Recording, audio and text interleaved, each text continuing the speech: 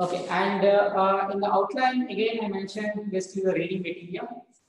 So if you see the biochemistry and biophysics, typically by themselves are actually independent disciplines. Okay, one can really spend a lot of time uh, entire semester teaching either biochemistry alone or biophysics alone. Uh, but here it's only kind of a basic uh, course. This is not an advanced course. So we try to cover only very basic things, okay, kind of most mostly generalized things rather than too advanced uh, details of any specific uh, topic. And uh, more or less, you can really follow any basic uh, uh, textbooks like biochemistry, Lehninger, uh, are basically what are the things the books I suggested. Okay, I'll try to share the PowerPoint slide. So let me share screen.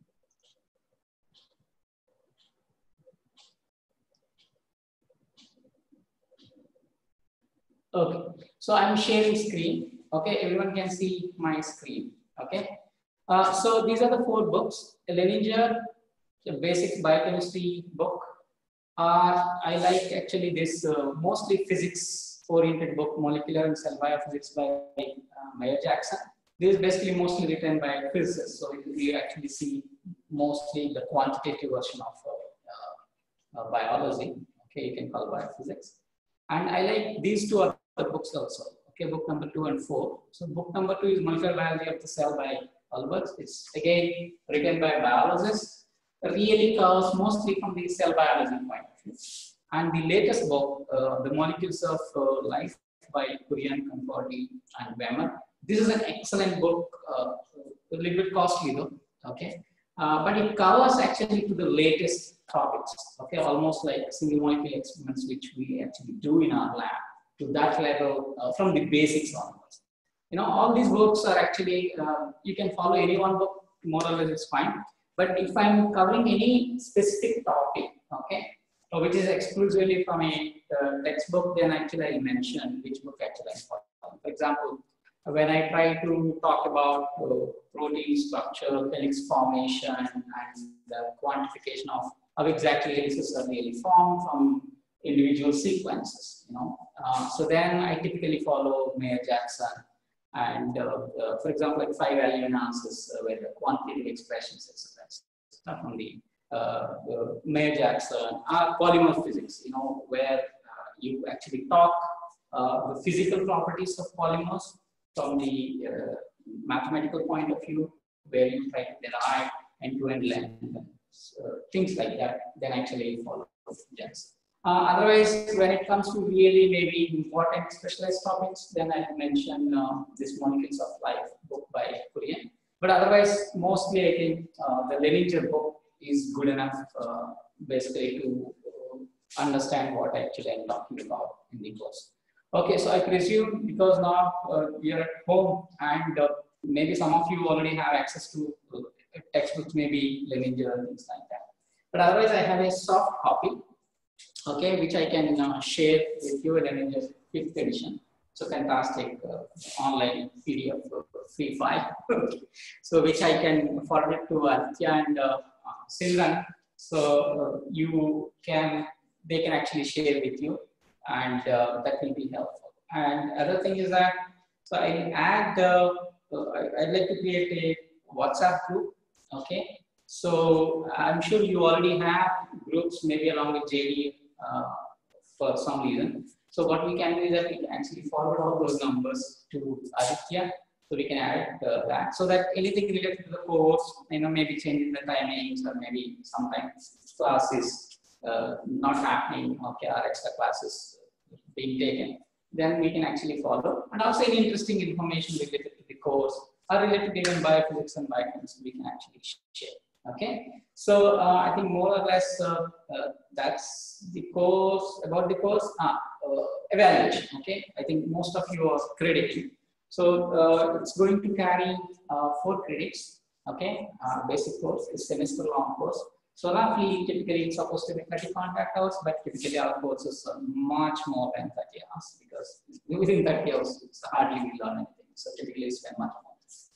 And evaluation is going to be by uh, based on assignments. Okay, so you'll give good time time assignments. Then will be deadlines. Okay, so you submit within the deadlines, of course.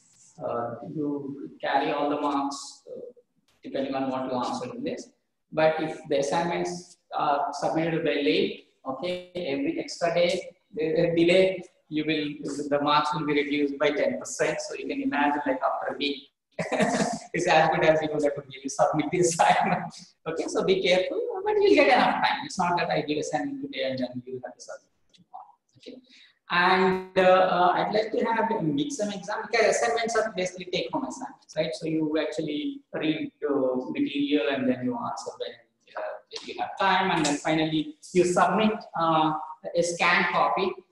Okay, so because that's the only way now we can really see your assignments. Scanned copy uh, in a single PDF document, possibly then we can open and then see and then evaluate that.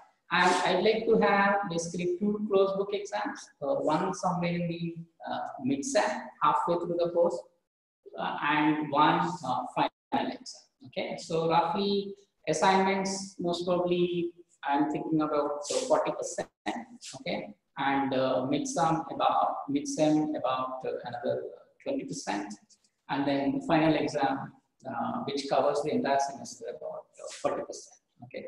So that will be like 100% evaluation. Okay. So, so far, any questions of method, uh, how exactly we are going to conduct this course? Any questions you can uh, ask now? Okay. So, okay, if you, uh, you can ask the question anytime during the lecture, no problem. Uh, otherwise, you can post uh, questions in the chat box, but I'll not be able to really see constantly a chat box. And maybe Aditya and Simran, they can just let me know uh, if you have any questions. So uh, as far as now, any questions you have? Uh, everything is okay? So you can hear my voice uh, clearly, right? Because I think this is the kind of uh, pace we are doing. Okay, so if there are uh, no questions, uh, so we'll start the course. Yes, someone has asked. Someone. Yes, Gunjan this side. Ah, Gunjan, yeah. Voice is, voice is kind of echoing. So the clarity is compromised at some points. Voice is echoing. Okay. So is it that uh, you No, you are away from the uh, laptop. Okay. Uh, so I can. Okay. So how about now? Because more or less I'm going to stand here. I'm going to write. Maybe I'm going to move around here and here. Is it echoing now also? Gunjan? Is it clear? Yes, sir. Uh, I was having a problem at some points due to the echoing of the voice. Otherwise, the blackboard and every setting is. Okay, uh, sometime. Okay, let, let's see. We'll go along and then see that if it, uh, is it the same? Everyone is uh, having the same problem or only Gunjan? Yes, sir, me too, having the same problem. Little bit of echo, Arijit and Sanjeev? Yeah, yes, sir. Yes, sir. Yes, sir. Yes, sir. Some echoing is occurring. Yes, sir. Okay, you guys? Uh, No, I, I, my, my is, it's happening because, Okay, yours is muted, right? Because the uh, so, uh, from next time we can bring one microphone. microphone. It will be better. Okay, so that uh, okay. So next time we'll see that. Maybe I'll uh, see that. I don't know. Maybe Because we can put one have microphone. a microphone. Then we'll see. Uh, otherwise, I think today maybe we'll go along and see that. If it is really not good, then we have to think about something else. But, uh, uh, but you can understand, right? I know there's a echo problem, but still it's, it's audible. Uh, it, it, it's okay, right? You can understand. Yeah, it's not excellent. Maybe a little echo, but otherwise it's understandable, right? Okay, I think so. Okay. Sir, for people inside the campus, are we allowed to physically go and attend the classes? Oh, yeah, yeah, you can. Uh, you see, right now, Aditya and Simran are in 80-80. So as long as you leave one seat in between, okay, one row in between, you can actually, yeah, that's, that's a good point. Yeah, it's a thing. So people who are on campus, uh, they can come and attend. That also reduces uh, load. And uh, second thing is that we are actually recording uh, these lectures. So uh, we we try to have recording for every lecture so that you can actually hear uh, later if it is required if you want to really, uh, if it is not really uh, understandable during the lecture, but later, let's say, you want clarification, then you can actually have these lectures available. Okay, uh, people are on campus. Yes, you're welcome. You're allowed to uh, uh, come to the lecture room. As long as you wear mask and uh, maintain social distancing, it's fine. Uh, only thing is, if I cannot wear mask, then it will be very difficult for me to speak for one hour. Okay. Uh, okay. So welcome once again. Uh, so this is a basic course. So typically, what is biochemistry and uh, biophysics? Okay. So if you have to define uh, biochemistry and biophysics, okay. So so in simple form, so one can define is is basically understanding living organisms are the processes which occur in living organisms. And in terms of uh, the chemist point of view, so you have to see basically uh, structure, okay, organization,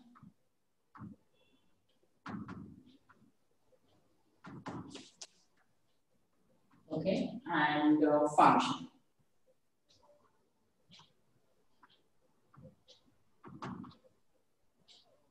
Okay, and molecular.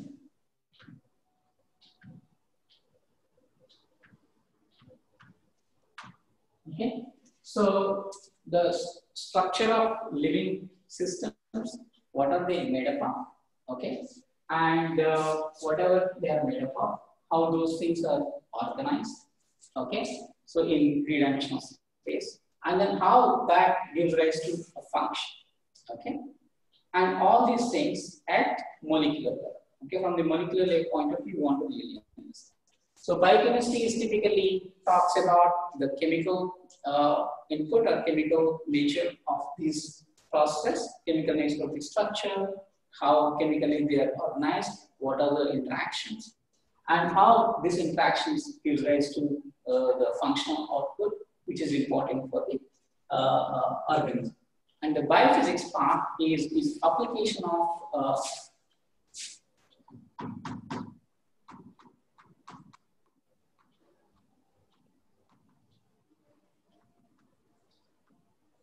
application of physical tools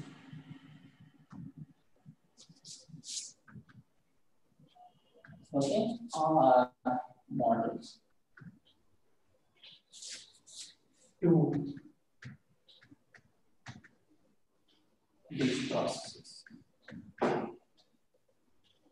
Okay, but all of this for living systems are like.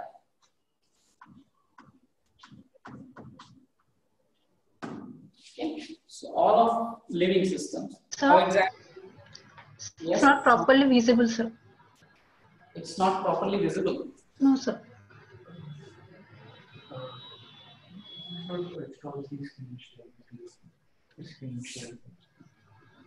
Can you please maximize the letters or something? No, stop the screen share. Oh, okay, okay. Ah, so uh, th- there are two ways to do this. Okay, so uh, so right now you're seeing my PowerPoint, right? Yes.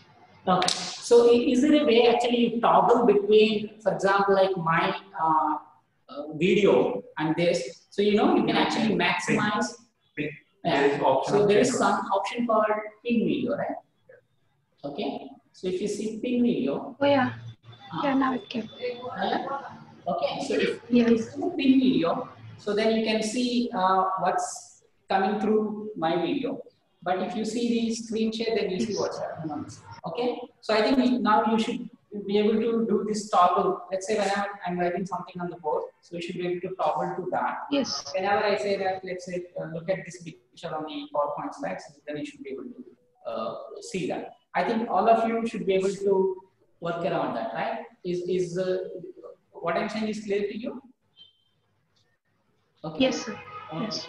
Okay. So, uh, so this biochemistry and biophysics is for the structural organization and function at the molecular level of all, all the processes which occur in living system.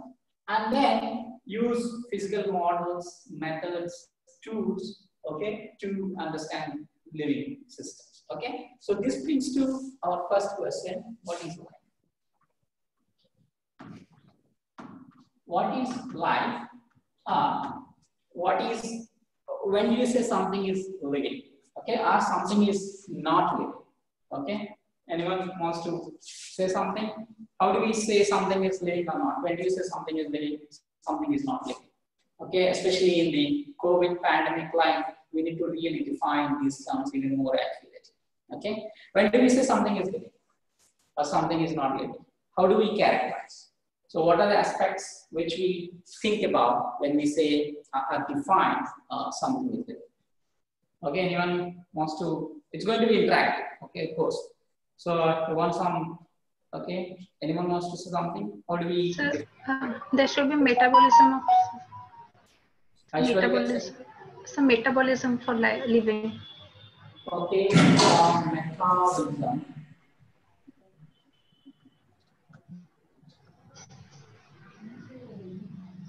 Okay, so what is metabolism? Uh, like all the processes of. Uh, what do you call that? Okay, it's a very broad word. Yes. Uh, For example, like conversion of food into yes. Yes. Uh, but food into energy, uh, we can actually do in weeks. That, that- that's the, the point I'm going to come in. with. Okay, so if you define a properly metabolism, is basically if you have uh, the food source, energy source, okay, converting that into products. In the due course, you get actually energy, right? But that we can do as a chemist, we know, as a chemist, you know, in a test tube, right? You can do these reactions in a test tube. But then, uh, do you call that life? Is it living system? So there is some kind of programmed growth associated with life and then decay. Some Okay, growth and decay.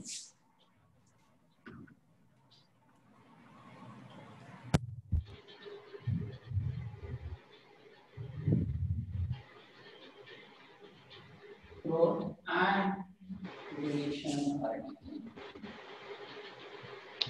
Okay, so growth and decay. Also, they are self-sustainable in forms of deriving energy and reproducing themselves.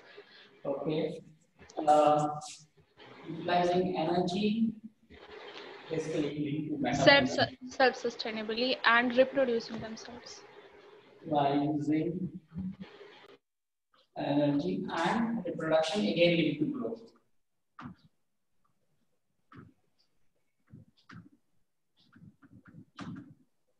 Okay.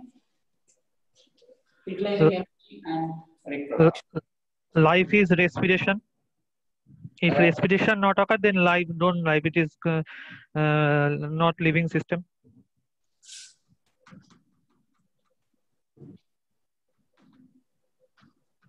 uh, respiration. Okay.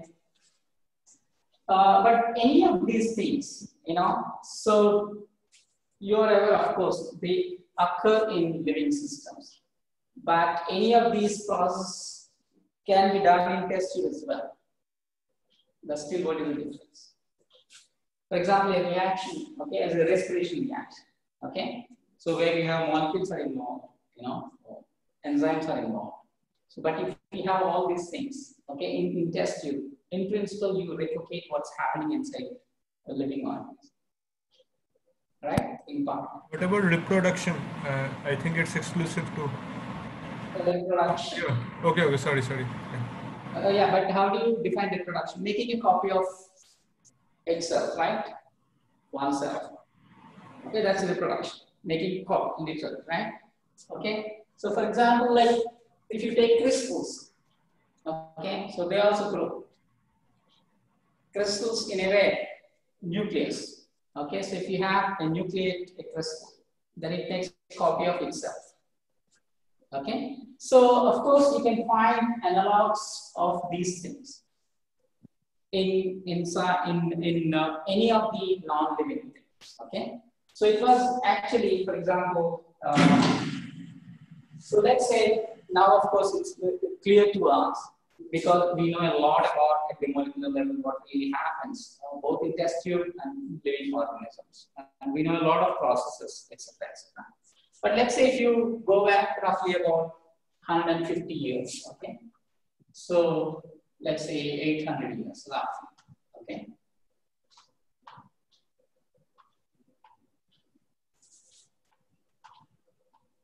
Imagine most of the methods which we have tools, okay, both chemical tools and physical tools or physics tools which we have today were not really there. Even microscopes were very, very limited, you know.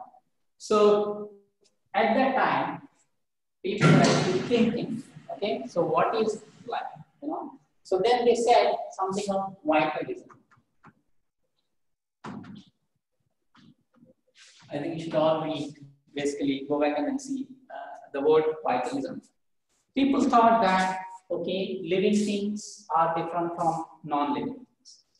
Okay, in living things, whatever occurs, okay, whatever happens in living systems is very unique to living systems because there is something called life force.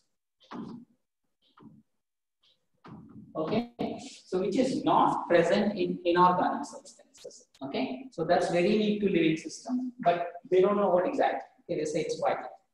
And they had a strong belief that you cannot really do outside, okay, what is happening in your body, okay? So then they thought that living systems are somehow unique.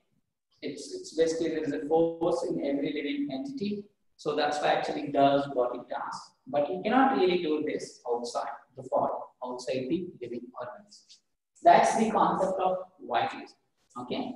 So then uh, people thought, of course, then chemistry was developing and, and uh, observations were getting better and better because then you have microscopes because most of the biology, you know, is basically whatever we know today is because of, mainly because of observation, looking at things at finer and finer scales, okay, using uh, microscopes which are getting better and better. Today now you can see as small as almost a single molecule inside a cell. Okay, it's almost like a few tens of nanometers.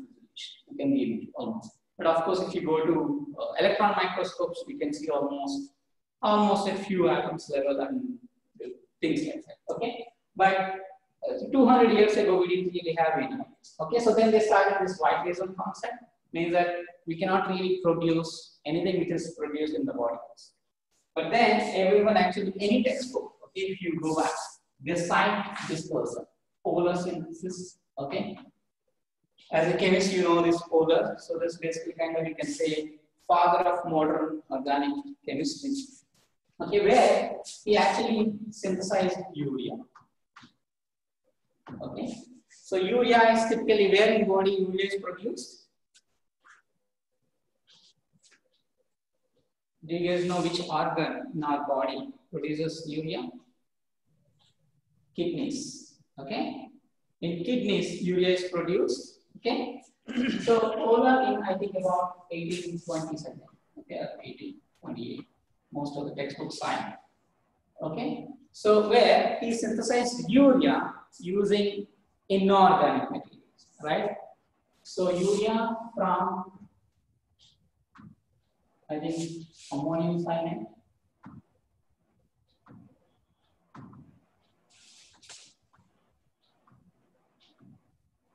Okay. Of course, there's a big debate because ammonium cyanate is not a very stable compound. It's an intermediate in the urea synthesis. So ammonium cyanate dissociates to form urea. And ammonium cyanate is, is an inorganic compound and urea is an organic compound. So this was most of the people cite as kind of initial uh, first example where an organic molecule, okay, which is produced in the system in kidneys of multicellular? Okay, vertebrates, okay, which is produced in the body, was produced in test tube. Okay, so that's when the word more or less coined in vitro. Okay, in glass, basically in test tube. So that was the first example, more or less, people cite and give credit to other.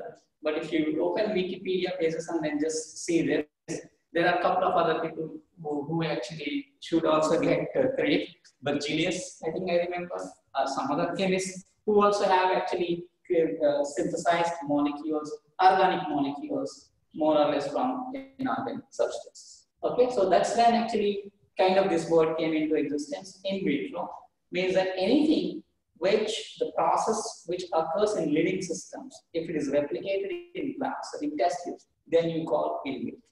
Okay, but if you if, if the process is as it occurring, okay, inside the cells, then basically in vivo. Okay, in vivo. Uh, so basically inside the cells. Okay, but if you ask Mitradev, he will say the word Mitradev. What is the word he will say? In analogous to in vitro, in vivo. With respect to I mean, kind of words. In vitro is in glass, in vivo in cells. yeah. In computer simulations. Okay, so it's called in silico. in silico. Yeah. Okay, so basically now we can actually replicate these things in computer simulations. So then it's called actually in in in, in silico.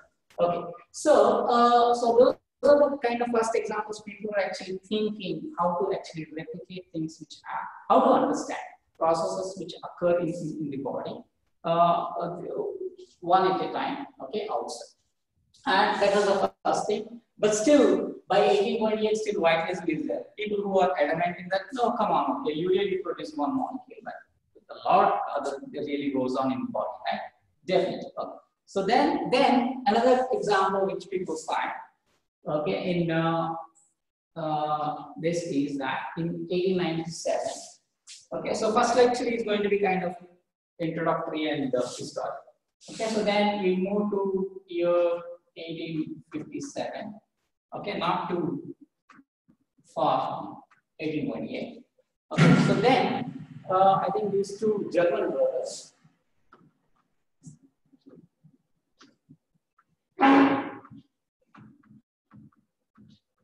Hans, I don't remember the last name, the last name is Buchner. Okay.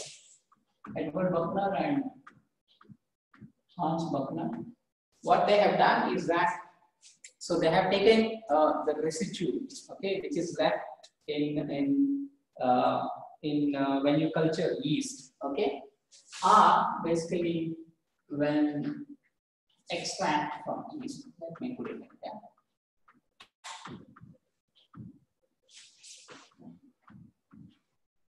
Okay, means that broken cells. Okay,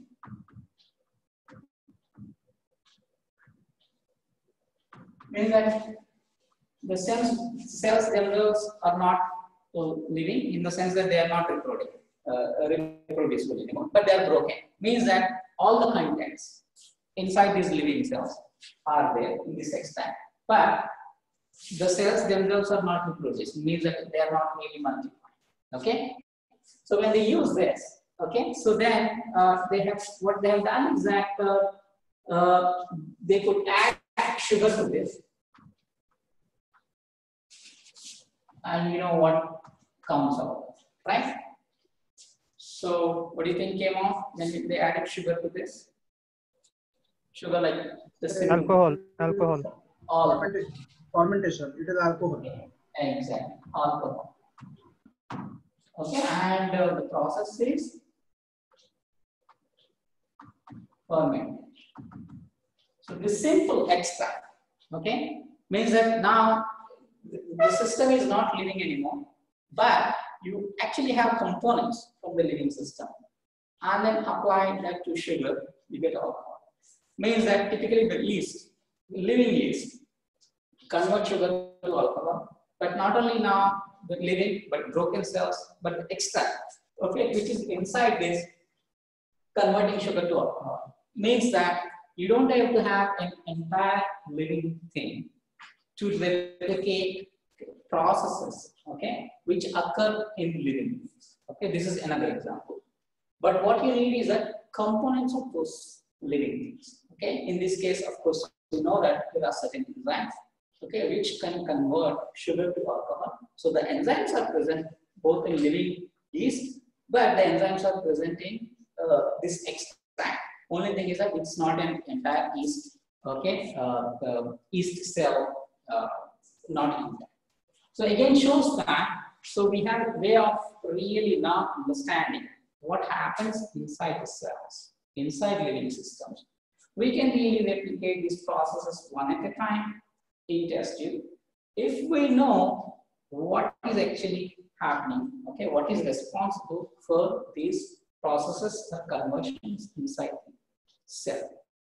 Okay, for example, in this case, uh, these molecules. So that's when slowly now, even though people are not satisfied with Wöhler's ammonia synthesis, now they are satisfied that ah, it's not that exactly that life force that you don't really need the exact complete living systems, but even decayed systems, okay, which are not living, but however, which have components which are which are present in living systems are enough to actually uh, uh, uh, do these processes outside the cells. So this is kind of birth of, uh, you can say, uh, biochemistry.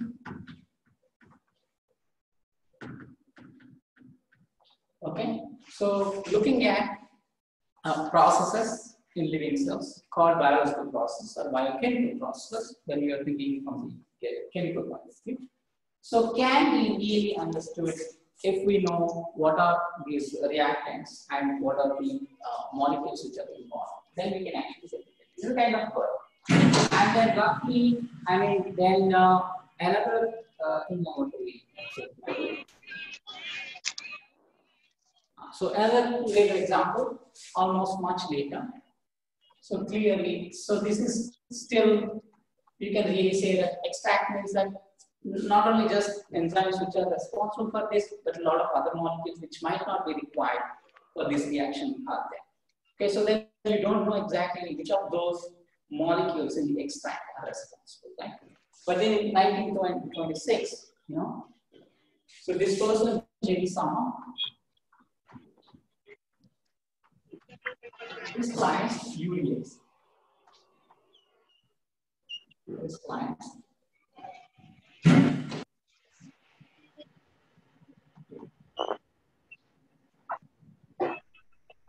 from called up.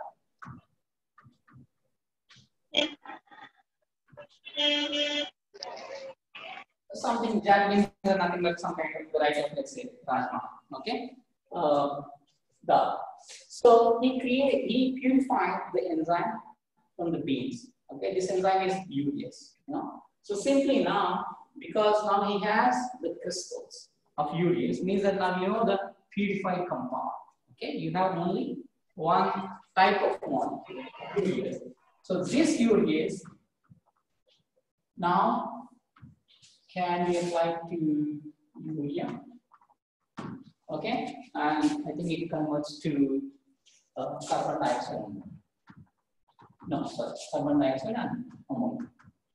Okay, of course.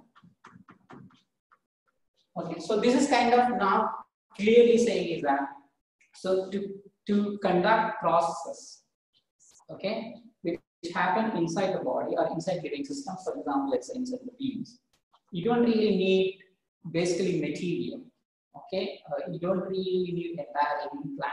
So if you know the substances which are responsible for these reactions, then you can actually use them to conduct. So this is really kind of a now advanced level of biochemistry where you are really thinking of in terms of molecules, how exactly uh, what, doing what they're so this brings my, me to uh, this uh, slide.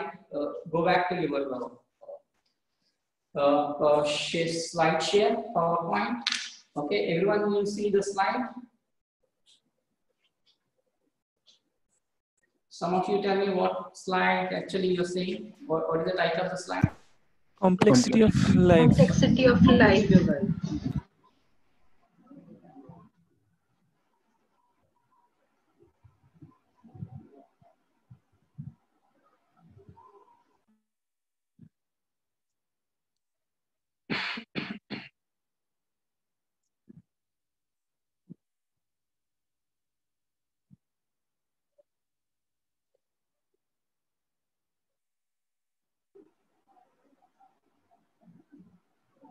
So you are muted.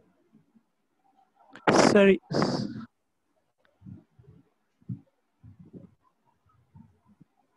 Yeah.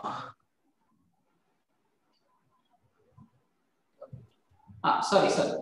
Ah, so uh, yeah, I muted, right? Uh, yeah, muted. Okay, so you see beautiful pictures. So this is a good thing about biochemistry and biophysics, where actually you can really see uh, all these uh, complexity, but in interesting, colorful pictures. Unlike in mathematics or other theory courses, where actually you don't really get to see this beauty. Okay, so uh, this also makes my life easier because then I can use a lot of pictures. Okay, what you see on the uh, left side is, is a single cell organism called bacterium. Okay, Escherichia coli, uh, E. coli in short. It's a beautiful uh, cartoon picture, but based on information derived from what we know in last 50 years. Okay, so this is how actually a bacterium looks like. It's, it has a shape of a rod, okay, or a small capsule, if you can really think of. Of the dimensions of roughly about uh, 2 micron in length, okay, and about a little less than a micron in diameter. Beautiful rod shape and these are living things, right? These bacteria actually move in, in, in solution, for example, in liquids, okay, in ponds, or wherever they are in your gut. And how do they move? They, they need a moving mechanism, right? They don't have uh, legs and hands uh, like us, okay, and animals are multicellular things. But yet they move, okay? So how do they move? They have actually these uh, flagella. You see it uh, all are actually uh, clumped together at the bottom. So these flagella help the bacteria move, okay? Uh, in food, actually, in food uh, gradient, you know, they can actually sense, they're very clever uh, animals. They can actually sense the gradient of glucose and then they actually move towards where actually the direction of concentration, where the concentration of glucose is. Okay, and, and the small tiny things which are actually uh, are there on the left and right side, you see beautifully so there are called small things are called cilia. Okay, and these cilia are actually helpful uh, in sticking. You know, whether let's say if they form a colony, they can stick to each other. One bacterial cell can stick to another cell. Okay, using this cilia. Ah, sometimes these bacteria can stick to a surface. Okay, that's how actually the cilia are. But if you have to move it inside and then see what is at the boundary, Okay, on the right side, you see uh, it's enlarged picture. Okay, these are illustrations by a person called David Goodsell. Okay, from Scripps Institute. You can go to Reilly Weber and see he's a very fine artist and scientist. Okay, and he makes these beautiful pictures uh, depicting the complexity of, of, organisms or living systems. You know how actually molecules move inside the cell and etc. So this is a kind of cartoonish picture but yet uh, it, the information actually derived from many, many, many experiments. Just to highlight, you can really see a descent of the uh, cell on the right side. Uh, you see all these uh, orange strands, uh, okay, uh, which are actually yellow strands, which are DNA. You can really see that these are kind of ropes, okay, going crisscross, and there are some blobs, okay, inside them. So these blobs actually bind DNA okay, and uh, they make a copy of uh, DNA RNA, and uh, these are DNA polymerases, okay. But if you move slightly outside, so then you see even bigger blocks. These are ribosomes, okay, where actually the strands which are coming out of uh, DNA because of uh, RNA polymerase, they, uh, they actually give small RNA molecules because of the transcription. These molecules enter ribosomes to make uh, the molecules called proteins, which actually carry out most of the functions. So the ribosomes themselves consists of both protein molecules and a variety of uh, RNA molecules. And if you see the cell periphery, okay, how exactly the flagellum, which you see a big uh, kind of tails uh, in the outside on the left picture, you can see how it actually is anchored in the cell membrane. No, it needs to be really anchored rigidly because when the bacteria moves, this flagella should not really come out. Of course, there are many flagella. If just one comes out, it doesn't. It's no harm, but uh, nevertheless, they should really stick. Uh, uh, they should really stick uh, nicely without coming off, and also should they should actually bear a lot of forces, frictional forces, uh, when the bacterium swims in, in let's say liquids. So these flagella are like a whip-like molecule, you know. So they actually uh, they do kind of whiplash movements and that creates a lot of force, okay, where they are anchored. So the bacteria should really withstand these kind of high forces, how they are anchored and how the cell membrane is there, how other protein molecules are actually bridging uh, the cell membrane and communicating what's outside and inside and etc. So this actually just clearly depicts the complexity of life where of course we can mimic one process at a time. In the test tube, like you use uh, catalyzing urea to CO2 and NH3, or even make molecules from inorganic synthesis. But however, if you want to really replicate, you need to have each and every component of this complex organism put in place, okay, both kind of in space and time, then only you can really get this. So this is only just so that you appreciate what's the complexity of life, okay? So, uh, ah, so and also when it comes to life, people also tend to think, of course, uh, to, to, to 2020 October 14, we know how exactly the, the living landscape, uh, the landscape of uh, let's say living things on Earth uh, as it appears today. But however, how do we know that? How life really looked in early seven days? What, what is the first living organism? You know, how, how did actually life uh, came into existence? Okay, so uh, obviously there has to be a first living organism, right? Before that, it should be something non-living. How exactly this realigned? So people actually try to replicate these experiments. You know, so in terms of molecules, the, more and more we know, okay, now, so the uh, chemical content of living systems. Okay, so then we tend to think that okay, what might be the molecules which might give rise to life as we see today. Okay, people try to uh, replicate these experiments. Uh, for example, like, uh, of course, we are going to talk about next class onward. Uh, so what are the chemical element, uh, basically, okay, so what are the molecules of life? Okay, small as well as large called macromolecules. But however, so these molecules, can they be created in, in using in conditions, okay, without using any, uh, um, without using any uh, systems, uh, for, for example, like living. So imagine that there is no life you know, so only in organic. Let's say Earth formed roughly how much? Like 4.5 billion years ago. More or less, actually, life came into existence just after life, you know, just because of the oceans. Okay? That's what the working hypothesis right now. Is that more or less after Earth came into existence 4.5 billion years ago? So roughly after a few hundred million years ago, life began. Obviously, not the complex organisms like us, but mostly single cellular. Okay, so like that, that, that brings me back to this previous slide. So where you have the single cell organisms, where actually uh, the entire living thing is just one cell, okay, bounded by a membrane. So basically you need to have a, a bounded environment created, uh, for example, by lipids in as a membrane in bacterial system, and everything else which is actually cooking is, is contained in this, okay? So is it possible that the initial uh, organisms, uh, initial life, can be called primordial life? Is it possible that somehow by chance it's really occurred? Maybe. Okay, how do we know that?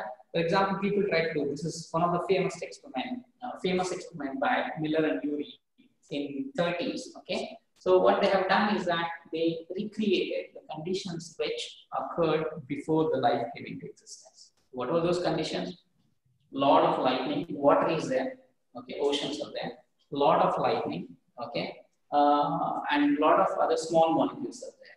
Uh, water is there, oceans, and small molecules like uh, methane, hydrogen, uh, ammonia. So you see, interestingly, all these compounds are made up of very simple elements, okay, carbon, nitrogen, oxygen, hydrogen, okay, and what you need uh, kind of reaction as well as earth oceans. And then what you need basically some kind of energy you know and lightning is actually was that energy so now if you replicate that experiment inside the lab you put all these uh, gases ammonia uh, methane water h2 inside inside your glass vessel and then you apply uh, electrodes either light energy or heat energy. And then after some time, if you simply analyze what is there inside this test tube, uh, okay, there's very interesting kind of molecules, including a lot of organic molecules, uh, uh, which might not be really important for living systems, but molecules which are important for living systems like primitive amino acids like glycine, alanine, are sometimes even nucleosides, you know, so purines and purines. They tend to occur. So, okay, so that gave strength to this hypothesis that maybe the first life, the, the uh, first living molecules, okay, might have formed because of this abiotic conditions of very high temperature and uh, maybe uh, lighting, etc. Okay, so that's but, but this by itself is a huge field. Okay, because now people are actually looking life beyond uh, our planetary system or beyond solar systems. Okay, so where actually what do they really think about uh, what molecules to look for? You know, very simple like methane molecule, ammonia molecule, water molecule. If they exist, then more or less we know that it's possible that uh, uh, life uh, exists. Okay, so this brings back me a simple uh, thing.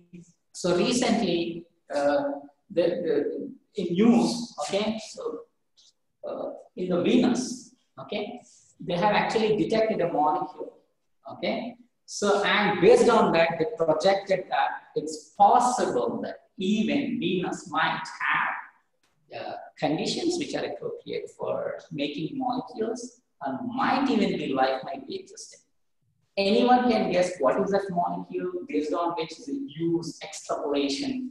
Uh, because these kind of things, you know, these kind of things are in BBC News or Scientific American uh, Nature or Science the hire. Because it's very important because they constantly look uh, uh, like, is, is it only on Earth is possible or is it possible in other planets or even other solar systems, okay? Uh, or even other galaxies, okay, which is really beyond. Okay, anyone, I, uh, any idea what molecule actually they found on Venus, uh, which, based on which people thought that there might be? Phosphine. Huh? Phosphine. Oh, very good. Okay. Prateep, right? Yes. Uh, yeah, phosphine. PH3 is a molecule. I know, how did they find some flyby? Uh, basically, because you can't really go there and then see these molecules. Okay, so most of the time you use spectroscopy you know, so basically spectroscopy is a nice tool uh, where you can really see uh, the vibrations of these bonds or spectral properties, you know, and image and then see these molecules exist. You are right. Okay. The first is a molecule PH3. Uh, based on that, people really extrapolated that yes, Venus might actually have conditions uh, which might uh, be helpful for life. Okay, because but if you see the temperature, Venus temperature is much higher than uh, Mars because it's close to the sun. It's close to the sun, obviously it's much warmer. So one would not really think because we are always thinking about Mars, right? Because which is uh, which is away from the uh, sun than Earth. So where, of course, we have a lot of exclusions. But why they think that just based on phosphine? See, now Euler experiments or UV experiments, they found amino acids, right? Then I can imagine amino acids are building blocks of protein molecules. But based on phosphine, how can one actually guess that it's a, it's a life molecule? How does one extrapolate PH3 as a chemist to life as a bacterium? Maybe the phosphine present in the uh, the uh, core shell of the earth or the, the uh, some stone or the mountain or from the from the soil the bacteria use them. Because no, no, Pratik, the question is that yes the, the origin of phosphine might be whatever is ocean or mountain whatever it is.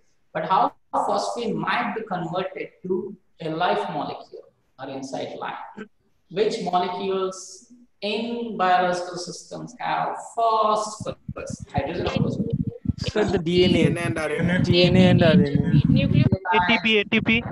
Nucleotides, nucleosides, ATP, DNA, RNA, you know, basically all these molecules, if you see phosphate is very, very important. Okay, phosphate, not phosphate. But of course, you can really think of as a chemist. Okay, synthesis, how to actually convert phosphine to something. Okay, so these kind of the things actually current we're really looking at. So basically, uh, we want to really know the information of each and every molecule, how that has a place both in organic and inorganic world, and uh, how exactly they can actually connect life. Okay, so that's uh, interesting. Good, that's you guys got phosphine. Okay, uh, so that's uh, unicellular molecules, right? Okay, so that itself is a very complex uh, from the chemistry point of view. Imagine uh, in this bacterial cell, what you have is is uh, DNA. Uh, we'll we'll discuss about details of this one.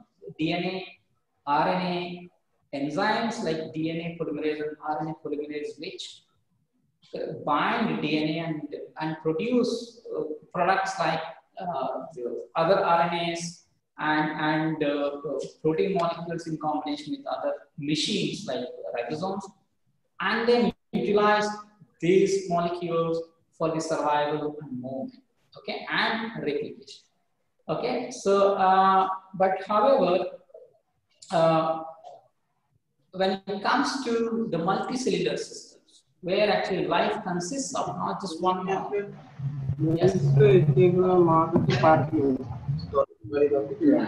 Life consists of more than one cell. For example, like us. Okay, uh, it's much more complicated.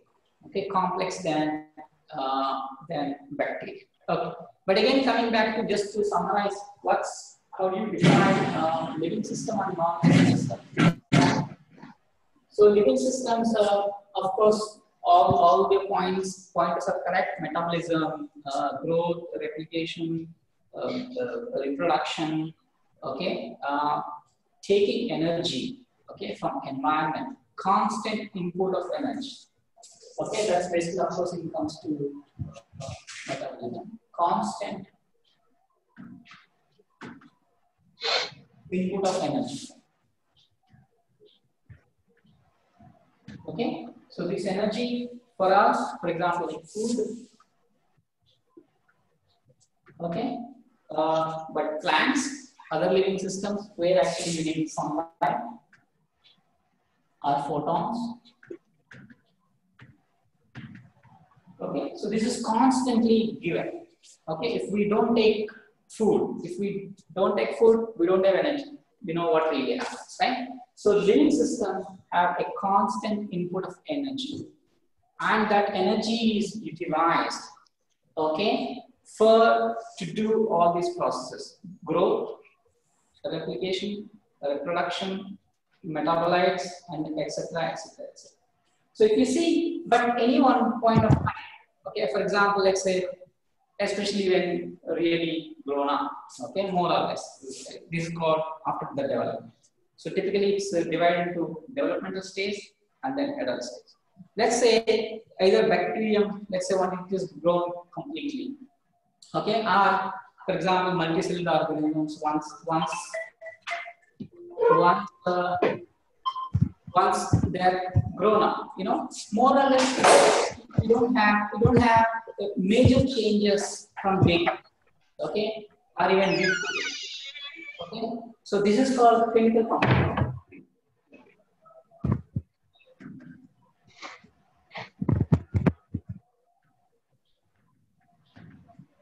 Okay, I mean there is very little on an average.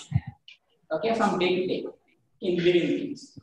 For example, like my body weight doesn't really change a lot. Okay, even in day, weeks, etc. Okay, as long as Okay, I take food, I take that energy, carbohydrate, right? But however, so what's really happening is constant input of energy. So this input of energy is used to do something. But yet, more or less, my state, okay, is more or less the same. Okay, so this kind of state is constant. So this you can really call steady state.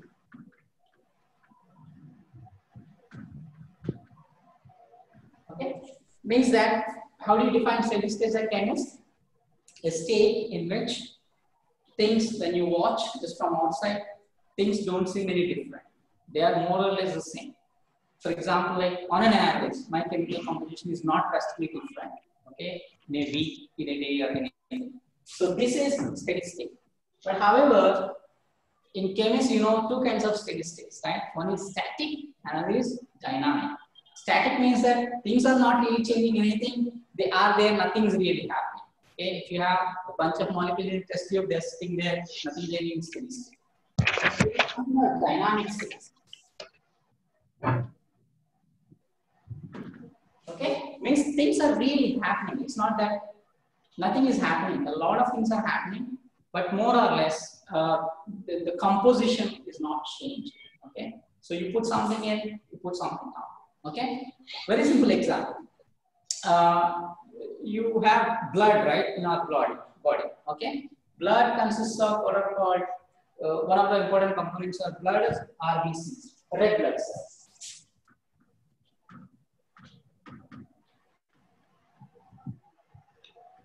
Okay.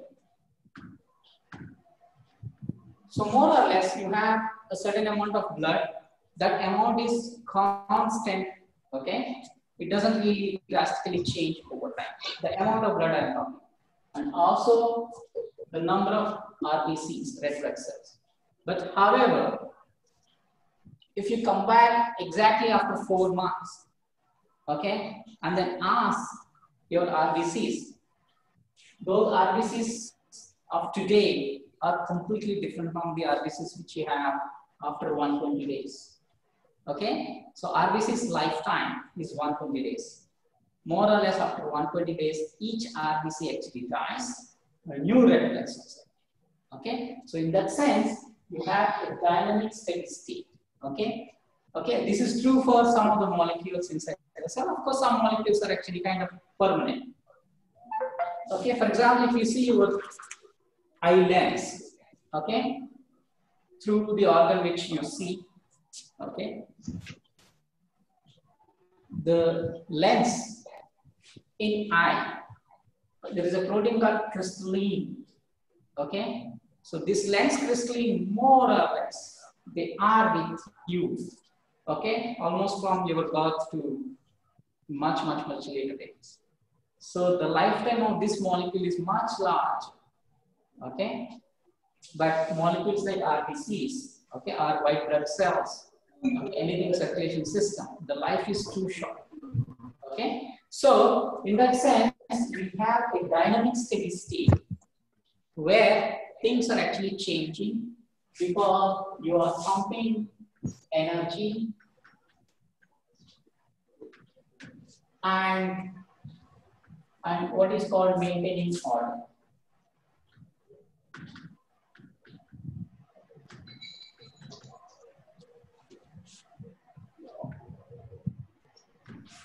Okay, so living systems are dynamic, exist in steady state. They need constant input of energy.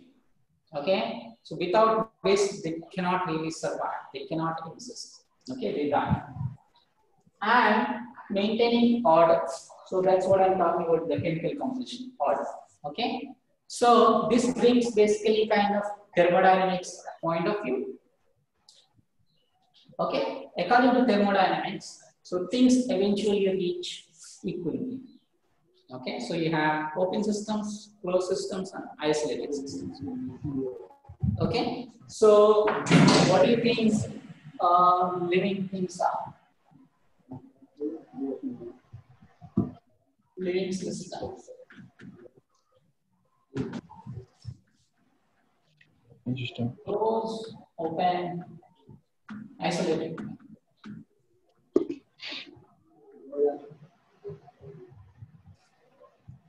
Living systems, yes, Open system. Open, Open open system. system. Open system. open system. System. Because so they exchange not only energy, but they exchange matter as well. Because we take food, means that that's basically material. Okay, and also we give out a lot of heat.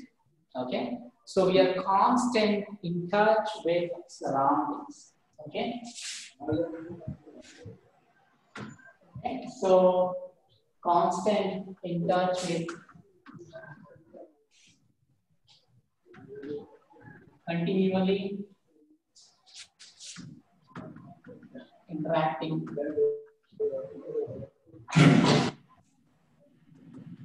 with surroundings.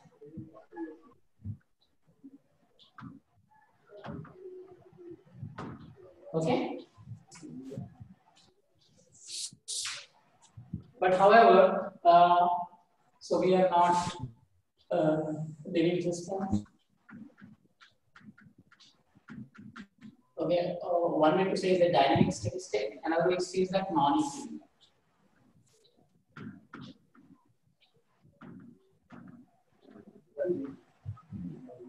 Okay, we are never really at equilibrium because we are constantly pumping energy. Okay, driving against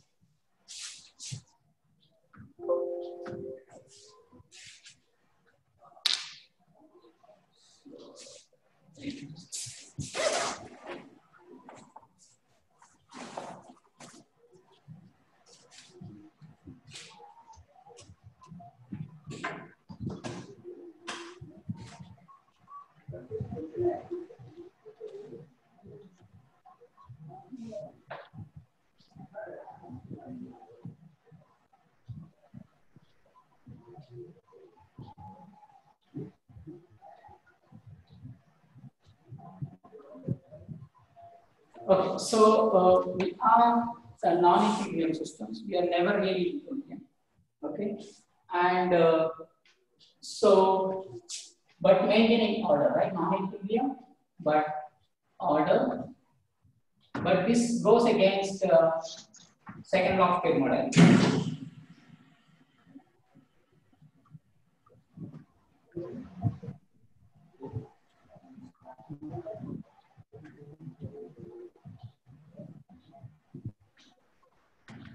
Okay, so we just our systems.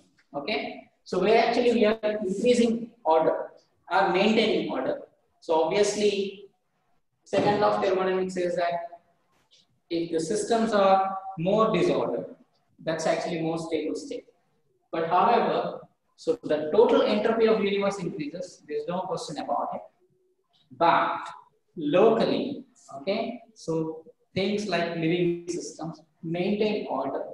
For example, like in this bacterial cell, it orders the membrane, it uh, bonds the molecules, it creates an environment that's highly ordered state compared for example, if you break open bacterium, everything is scattered. Okay, so but how this happens? So why we can actually maintain the order? Because we are putting energy from outside. As long as we put energy from outside, okay, so we can really be at non-equilibrium, we can have order. Okay, so it's not that against the second law of thermodynamics, but it's only locally. But the entropy of the entire system really is uh, inferior. So we have to keep in mind. Okay, so um, like I said, so the, single cellular organisms themselves are really complex. But when it comes to the multicellular organisms, Sir, sir, sir, I have a question. yes, please. Sir, I have a question. Say, when we are taking energy from outside, then we are maintaining our, our order. So how the say total entropy system is increasing? Total for any spontaneous process, the total entropy of the universe is always increasing. So when we are taking energy from outside, we are maintaining our order. So how the total entropy of the system is increasing? It is not understandable to me. how the total entropy of the system. Hmm. Okay, so but we are emitting heat as well, right? That actually sir. changes the outside much more, you know. So of course we consume food energy, okay, but then Yes, we give out a lot of heat, right? Yes, yes, yes. That Yes, heat actually makes the say, things outside disorder, okay? Okay, okay, sir. Okay. But imagine if we are isolated system, then it would be a problem. Of course, living things cannot be isolated because you need to exchange both the matter and uh, matter and energy. It can't be even close because we need to exchange it. Okay, that's clear. Okay, sir. Okay, sir. Okay, sir. So uh, the question is that multicellular organisms, you know, they are even more complex. Okay, so then comes what's called the specialization. Okay, So because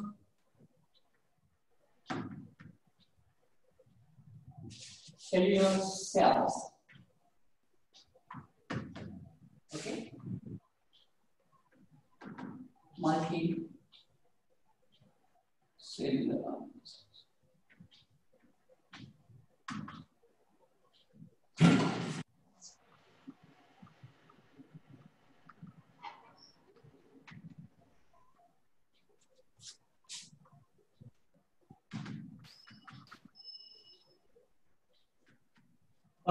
So life like bacterium, single cells. So if you take one bacterium versus another bacterium, all of them consist of just single cells. Okay, so all of them are identical. Uh, because they contain only one cell. There's no the, the, the different cells types doesn't even arise because entire life is one cell.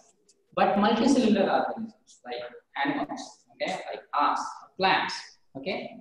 So now you have, can we have all cells identical to each other? Then it's basically kind of bunch of cells, okay. So is it possible? What will happen? Okay. So the question is that so we have evolved. Okay. So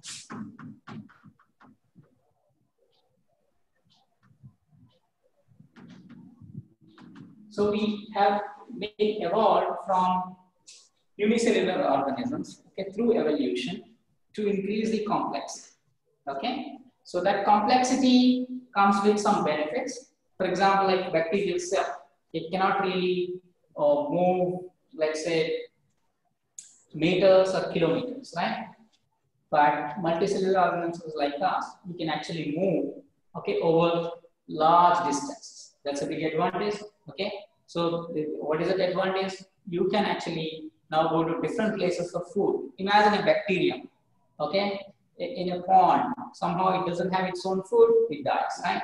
But imagine there's a food only few meters away. Now this bacterium cannot really go there, but multicellular systems can really go. So that's added advantage. Okay. But the thing is that with this added advantage, so you have to really build in that. Okay. How do exactly a bunch of bacterial cells cannot really make a multicellular organisms because all of them exist independent. But in multicellular organisms, so which consists of many cells, so they have to communicate, they have to talk to each other. Okay. But can they be all identical? looks like not. So then it will be a bunch of organisms or colonies we call, you know. So then that will not suffice. So then you have to have much more than what individual cells can really provide. So that's when actually our cells now, okay, divide into different types of cells called tissues. For example, like your lung tissue is different from, okay, your blood is considered a tissue, okay, because it has cells blood tissue is different from your brain tissue, okay, versus the, your gut tissue or the liver tissue. Means that every organ in your body is made up of cells, but the architecture is very similar between most of the cells.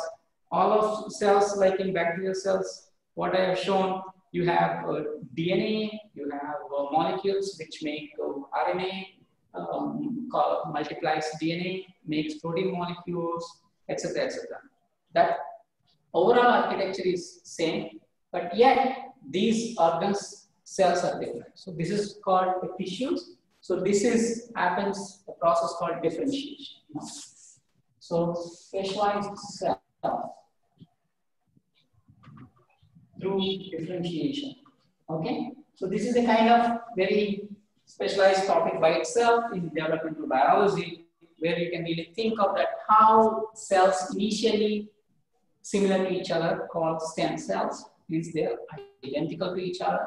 They can really become uh, a blood cell or a nerve cell or the gut cell or liver cell.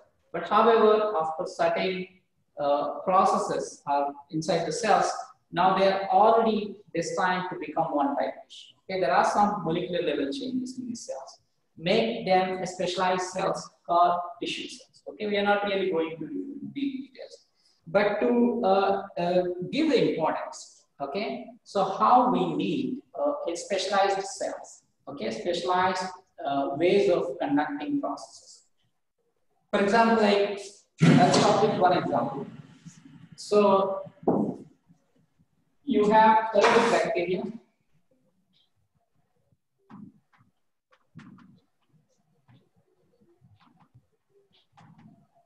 Means that they take oxygen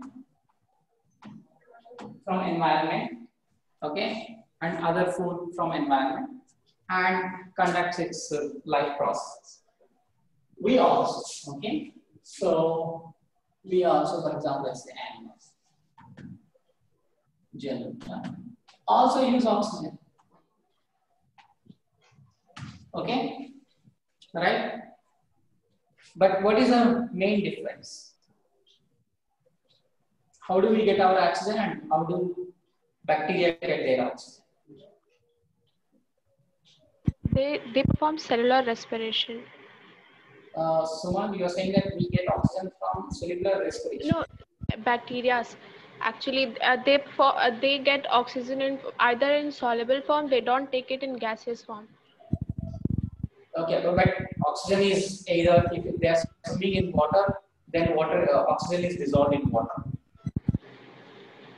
We have a developed sys- system we- for So we, we have specialized organs, Organs, which are yes. supposed to take in the oxygen. For bacteria, it's simple diffusion that takes place.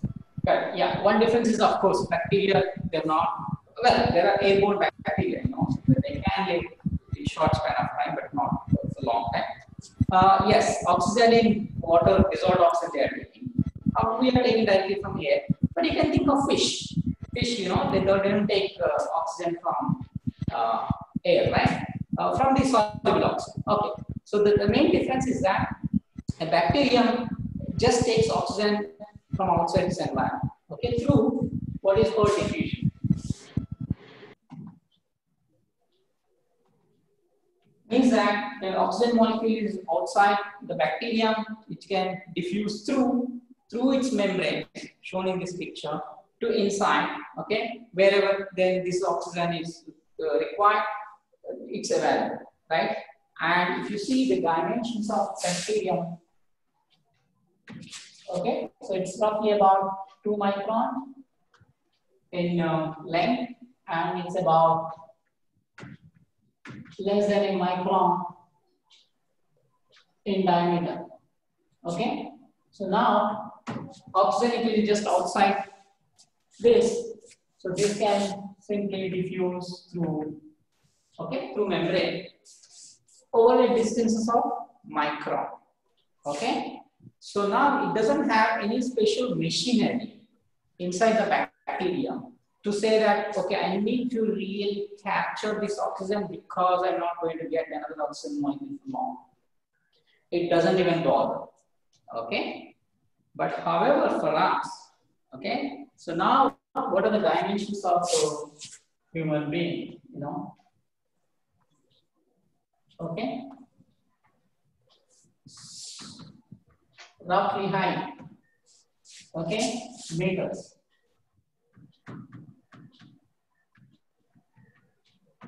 Okay, so we have the dimensions of meters, you know. Okay, or even if you take my hand, dimensions of let's say five centimeters. Okay, 10 centimeters diameter. Okay, means that of course we also have oxygen around us, right?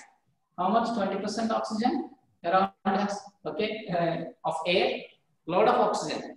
But the thing is that oxygen actually going to your hand. But however, it will reach only the cells which are at the surface. Okay, like bacteria, if it's only micron thick, you don't really require. Oxygen is actually going.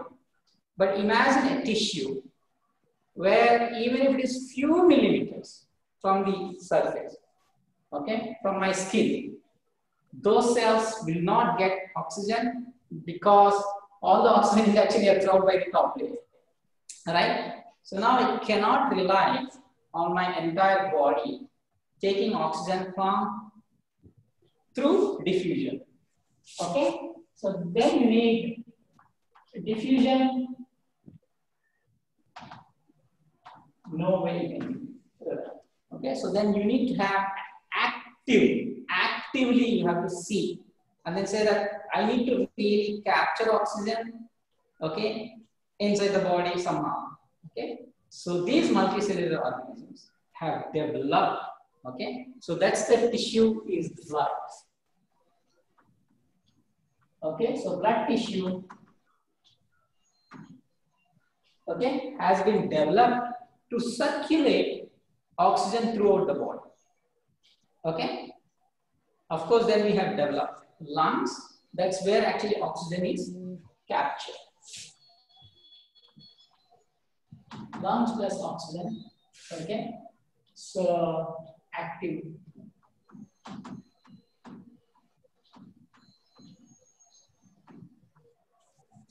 Okay, so bacteria simply uh, diffusion. They don't have any special machinery, so they don't require blood, they don't require lungs. Especially two tissues are gone, right, from their tissue list. But for us, so we need to capture, means that now we have evolved to have lungs. That's where actually the oxygen is captured. That's first part. Next, capturing is not uh, only uh, sufficient, right? you need to have mechanism to transport this throughout the body. So that's where actually the circulatory system, okay? So in addition to very different circulatory systems, we have blood, okay, where actually we transport uh, this. So this is one of the key elements we actually discuss uh, when it comes to really uh, allostery, etc., where actually how myoglobin versus hemoglobin, uh, what are the differences, okay? So why we have two different types of oxygen captured molecules, you know. So how exactly they perfect fun perfectly function inside the body. Because imagine if you, capture means something binds strongly, right? But if it binds too strongly, then, then it will not release, right? So we have to have kind of intermediate level. We need to not only capture strongly, but we also have to release strong. Okay, so this is basically myoglobin hemoglobin system beautifully works, and the allostery actually plays a really important. Yes.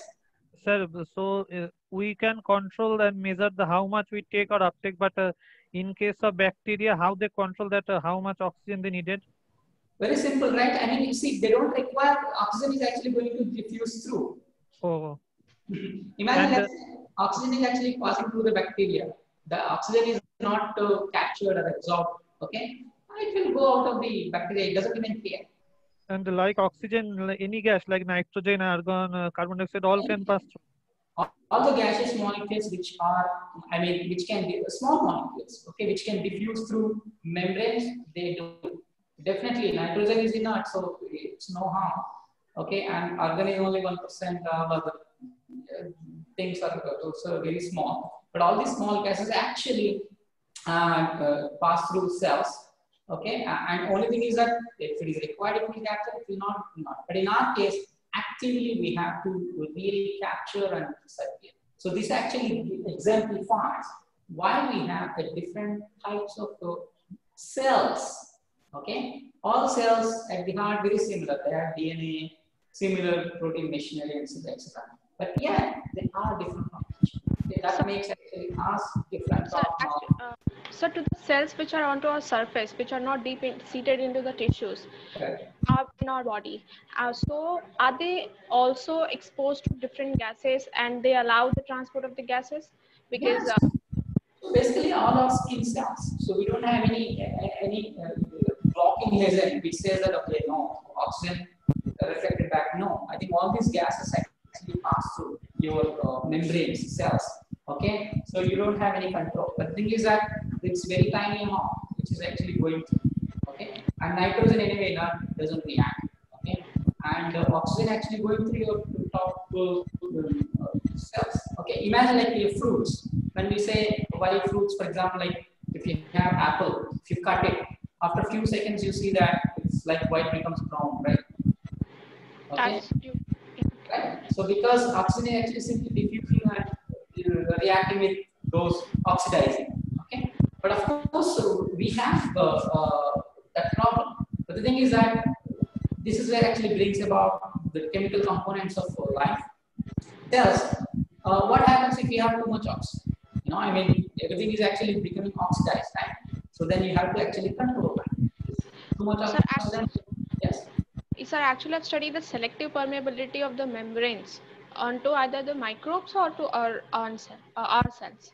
So what does that do actually? The selective permeability of the membranes, doesn't they allow the gases, oh sorry, doesn't they inhibit the gases from entering our cells? No, no, no. I think gases, see, if you take the gases in air, oxygen, nitrogen, argon, they're actually passing through your membrane. Membranes, they diffuse very easily.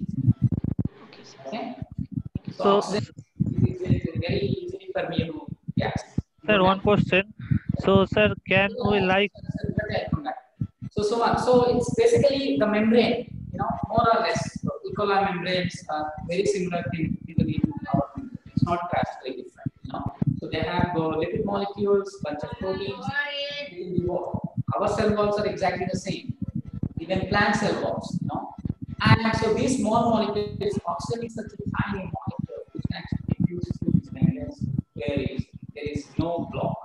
Okay, it's not reflected back at the membrane. Okay. Yeah, Pradeep? so, sir, like we uh, put some medicine or other in a- through syringe in our blood cell. So, in that uh, we can uh, take oxygen and put uh, through the blood cell, like in the tissue, like the syringe or any other process. That is, we can we can put the oxygen in the blood and it can go circulate uh, through the whole the body. No, but also it's going to come out. No, I didn't understand your uh, concept clearly. You were saying that we inject oxygen through syringe. uh, syringe on any any like device that can put like uh, those we put some uh, medicine or through the blood circulation uh, any vaccine so that w- uh, that way we can put uh, uh, through any device the oxygen and the cell or blood blood that takes the oxygen and circulate that possible No, no, no. So what you're talking about, just pumping directly oxygen gas into, let's say, blood vessels. Is it correct? yes yes Yeah, no, that will create other problems. So let's say if you have accumulated gas, then it will appear as a bubble. You know, I mean, you, you know why someone when gives injection, they're very careful about avoiding air bubbles in that. Okay, so it creates actually blocks because our capillaries are the dimensions of few micron in diameter. Okay, imagine let's say if you have air bubble, means what is air bubble? A lot of gas, okay, accumulated, concentrated. Okay, so now all this is not absorbed. If it is absorbed, then it's not air bubble anymore, right? Okay, but the thing is that if this accumulates a bubble, that creates a problem for the circulation system. Imagine, let's say, if you have a, a pump, okay? So sometimes, I don't know if you guys faced, uh, we used to do this when we were you know, children. You know, the water doesn't really come, you know, well, you have to do a lot of uh, things. But sometimes there's a block of air bubble, etc., etc. You know, so that creates actually uh, smooth movement of liquid through capillaries. So there's no way we can really uh, can do that. Uh, but for example, like uh, if someone cannot breathe normally, then you have artificial uh, machines, you know, uh, which actually lung machines, you know. So people, for example, like in the COVID pandemic, people uh, so whose lungs are not really efficient, you know. So you have actually breathing machines where actually again just you pump oxygen only to the lungs, you provide. But again, the hemoglobin needs to capture and then circulate to all the tissues inside the body, okay, without fail. Uh, because every cell in the body requires oxygen, without which you cannot live. Okay, so the concepts which you are going to learn in the course are uh, structure and organization uh, in terms of small molecules and large molecules called macromolecules, water important molecules. That brings back me to uh, Okay. so this slide. Okay. So I end uh, with this slide. Okay. So if you see uh, what you see on my slide is uh, molecular component of cell. Okay, so this is a bacterial cell, but more or less true for any biological cells. Okay, so most of the cell by weight, okay, is made up of just water. Okay, water is a basically reaction vessel. Okay, so solid. So in this 70% weight of cell is water, the remaining 30% is actually uh, divided into all other chemical components of uh, cell. Okay, out of those, roughly half of the non-aqueous uh, weight is coming from proteins. So that's why we call actually proteins are the machines. Okay, molecular machines are the workhorses of life. Okay, so So proteins are so important because almost every process you can really think of inside the cell, somewhere the protein is there, along with other molecules, okay?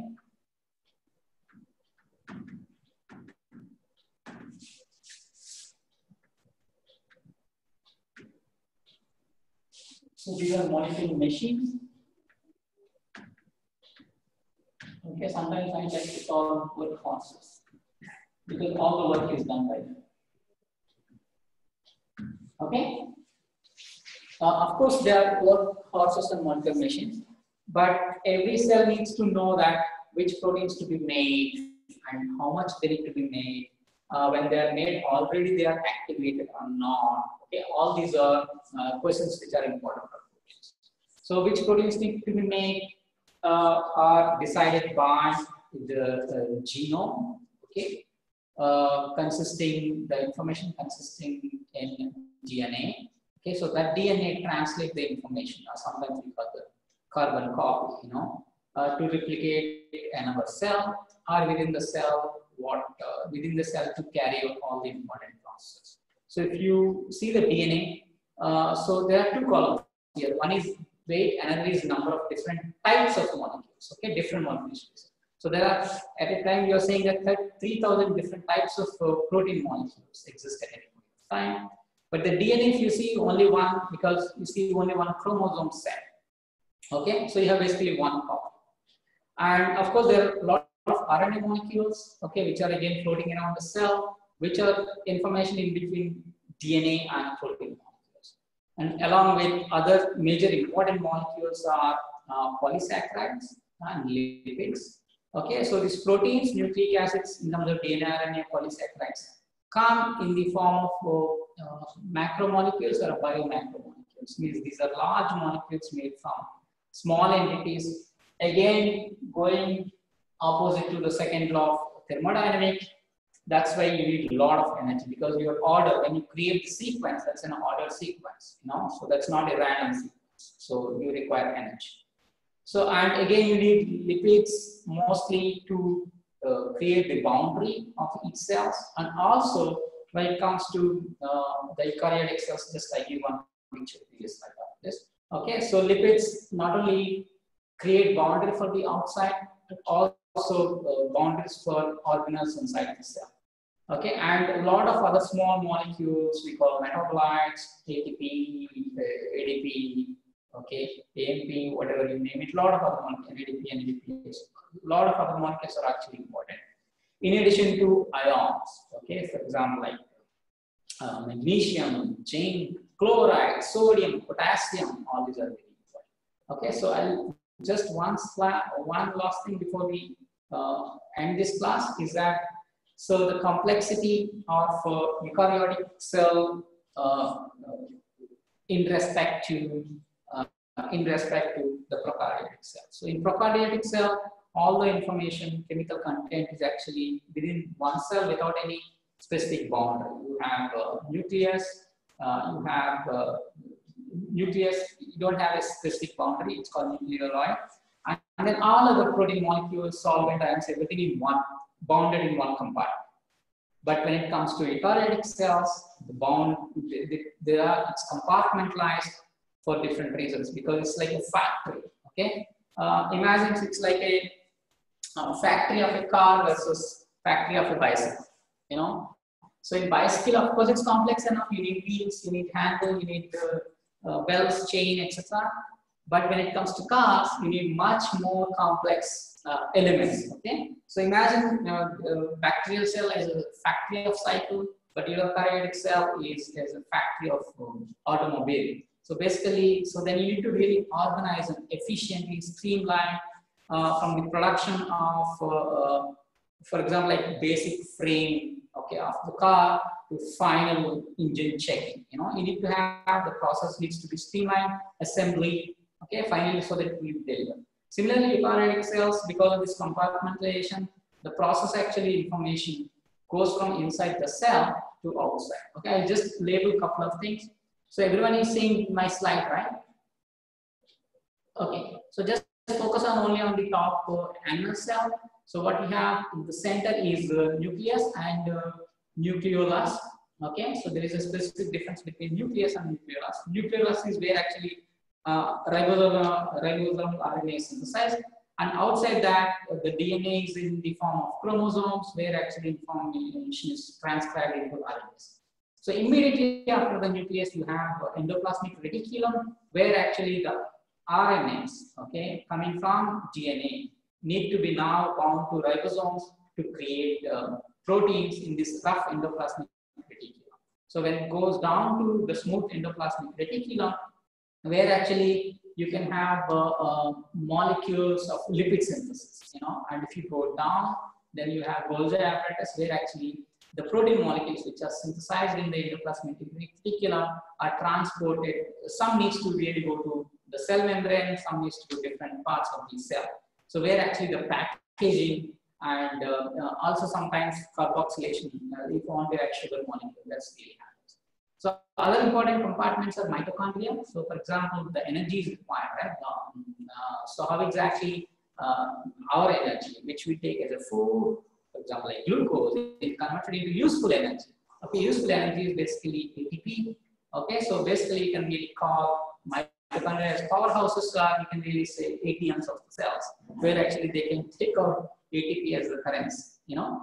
And a lot of other uh, things are also important. For example, like how do you recycle waste? You have a dustbin in your room, right? Cells also have actually their dustbins, like lysosomes, where actually unwanted protein molecules are actually shipped and then all are destroyed into small uh, fragments which can then be recycled and used back.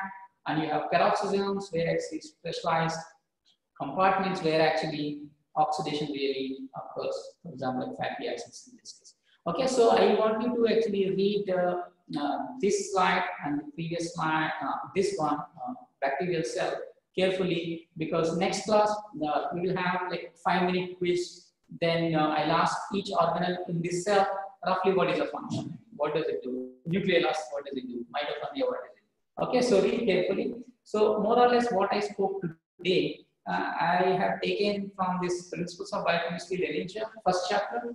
Beautiful, it's easy to read. I would recommend basically read. You know, and, and also there are very nice end of the uh, chapter exercises. You know, for example, you should really read. For example, like one important question I'll give you. Okay, so our life is based on uh, carbon. One important property of carbon are which uh, separates carbon from other elements is the concatenation. We say that carbon can form chains of molecules. Silicon can also form chains of molecules. Okay? But somehow we don't have life yet. We have not seen. Okay? Based on silicon. Okay? So think about. Okay? So you read about this and then next time let me see who will answer that. Okay? Why can't we have silicon-based life similar to carbon-based life because carbon and silicon share exactly chemical, uh, similar chemical reactivity and uh, properties, like especially forming long chains. That's what is actually important because the important molecules in, in, in our life are proteins, DNA, RNA, uh, polysaccharides, all actually can form uh, small molecules called monomers uh, going to polymers. Okay, silicon also can do that, but somehow we don't have. So to bring about some arguments why uh, we don't have, what might be the reason? I think that ends lecture one, and uh, so I'll I'll give this uh, uh, Lehninger, uh, I mean PDF file to Aditya. I'll forward it to you. And uh, this lecture we are recording, so we'll save it somewhere. Some guys require later, then okay. And uh, these PowerPoint slides also I'll forward it to you. Okay. So next class will be on uh, uh, Friday. Okay. Thank you. Any questions? I think it's already long time. So I have a question. Yeah. I have a question. Yeah. Yeah. So regarding that diffusion of gases, I think there is some partial playing role in the absorption of uh, gases. What Pradeep and Suman said.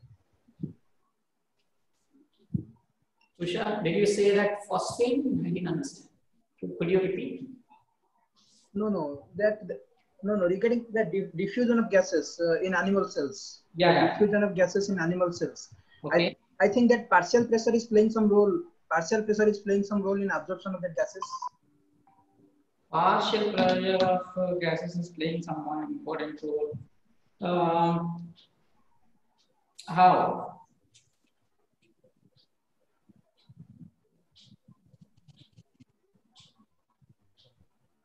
how it might be playing an important role. I cannot hear you. Maybe he's referring to the pressure So, uh, inside inside our the- body. Sorry, sorry. Go ahead. Yes, that uh, somehow some somehow oxygen is binding at uh, 100 mm of Hg for that partial pressure uh, when it binds to hemoglobin or some things I have read in biology. I think that might be playing some role that other gases do not. No, no, no, no. It's nothing to do with that because hemoglobin is very, I mean, hemoglobin is specific to two molecules uh, oxygen, O2, bimolecular oxygen or dioxygen, and CO2. It also binds CO2 and, of course, it binds CO as well. That's very important. Okay, so only these three molecules. It doesn't bind N2 or other. So then there is no partial pressure question. Right, but of course it's important that, it's important that how exactly why it binds oxygen in lungs and then releases oxygen in let's say tissues. Uh, that is an important aspect one needs to really. It's not purely uh, uh, well pressure amount of gas is important, but more important concept is uh, allosteric that we will discuss. Allosteric is a deciding factor. Uh, in addition to, of course, how much oxygen is available, but it's nothing to do with uh, other gases. You know, it doesn't really bother about how much N2 is there, but of course it bothers about how much CO and CO2 is. Okay, because in uh, tissues you have a lot of CO2, so it brings back CO2. That's a good thing about hemoglobin. So it not only carries oxygen, it carries back carbon dioxide. Okay, that we'll talk about when we discuss about uh, the concept called allosteric, which is a very important regulatory mechanism by which proteins actually control the process. Okay, so any other short questions if you have? Yeah, one th one thing more. Yeah, regarding the steady state. Yeah. Regarding the steady state. Yeah. So suppose I have uh, a horm I I have a hormonal imbalance in my body, and uh, suppose the a particular hormone has fluctuating composition in my body for a certain duration of time. Okay. So is still uh, steady state valid uh, during that uh, time or not? I didn't understand. You said hormonal imbalance, but I didn't follow. After that, what did you say? Tushar, could you repeat that last? So uh, basically, I was telling that suppose I have uh, a hormonal. So uh, uh, will steady state be validated if I had a fluctuating hormonal condition in my body for a certain Okay. period of time? Ah, I got it, I got it. Okay. So does that constitute a steady state? Okay. So when we say this word, the steady state, like I said, even the chemical composition, right? I said that chemical composition more or less it's same uh, but today uh, versus tomorrow versus the day after. But if you have to really count and enumerate the molecules, number of molecules, then it's not accurate sense, right? For example, like, of course, immediately after I have food, I have more glucose. But the thing is that if I'm starved for, let's say, one and a half hour, then I don't have glucose? So in that sense, it's not strict, but more or less, it's out of billions of molecules which constitute your body. You know, very small fraction is different. So that's what we mean by steady state. Okay, but this is different during the development. For example, let's say life begins at zygote. Okay, uh, one cell divides to two, two cells to four, etc. At that stage, things are actually changing very rapidly. That's called developmental stage. But once the development is complete, okay, so then, for example, like say called adult stage, where no more uh, big developments are really happening. But at the time, only I'm just taking uh, energy from environment and then uh, keeping my ordered state, okay, and working again second law of thermodynamics. Because if I don't take food, then we'll disintegrate and uh, disorder will increase of second law of thermodynamics. Okay, uh, that's this. And one final question. Uh, so we talked about initially what is life, how do you define living systems, right? So in this COVID pandemic, you know, coronavirus, right? So next time, I mean, we will talk about a couple of questions. Uh, come up with some logical explanations. Coronavirus, is it living or non-living? Okay? So think about it. Okay. So next class, we'll talk about beginning silicon-based life versus uh, uh, and uh, uh, coronavirus is living or not. And uh, quickly, we will basically ask a quick quiz on what are the different components of this cell. Okay, and roughly what is the function of different organs. Okay, so see you on, on Friday. Okay, bye bye. Thank you. Okay, bye. And Mitradeep and anyone who is on campus can actually come in AG8. That will be easier for you. Okay? Yeah. Okay. Okay, bye bye.